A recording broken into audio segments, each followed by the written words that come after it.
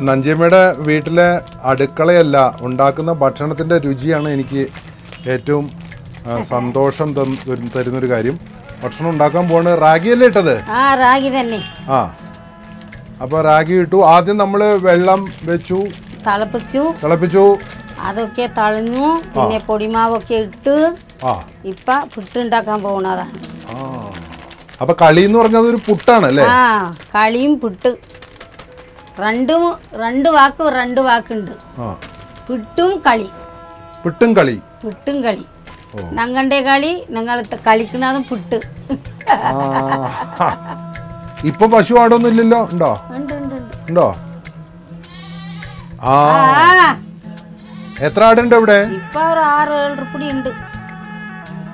ഏഴുരുപ്പിടി. പശു? പശു രണ്ടെണ്ണം ഉണ്ട്. ഇപ്പൊ എന്താ ചെയ്യുന്നത്? പുട്ട് ആ ഇളക്കാണ്? ആ വടി കൊണ്ട് ആരെങ്കിലും അടിയും കൊടുക്കാൻ പറ്റും പിന്നെ? ഒരു ചായ കിട്ടിട്ടോ നഞ്ചിമ്മയുടെ ചായ ഞാൻ കുടിച്ചോണ്ടിരിക്ക. അതെ. കുടിക്ക് കുടിക്ക്.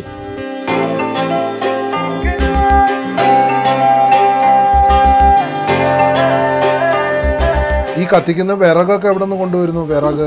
മെലായിരുന്നു കൊണ്ടുവരണം. അത് തലച്ചുമടായിട്ട് കൊണ്ടുവരും അതാണ്.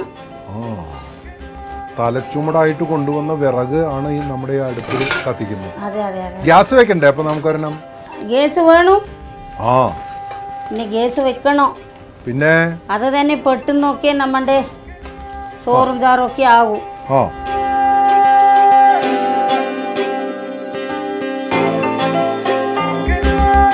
എന്താ ഇനി അതിനകത്ത് ഇടണ്ടോ? ഇപ്പം അതിനെന്താ? ഉപ്പിട്ടോ?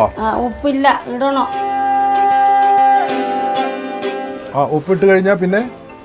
പിന്നെ അത് അങ്ങനെ വെന്നിട്ട് ഇറക്കി വെക്കണം. ആ.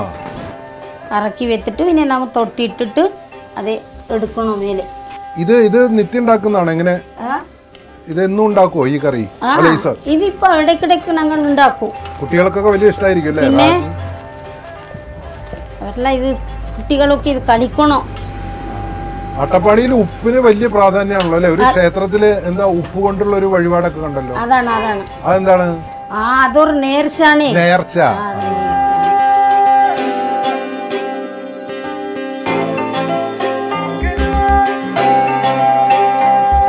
ഇങ്ങനെ വെള്ളം ഊറ്റി കൊടുക്കണോ?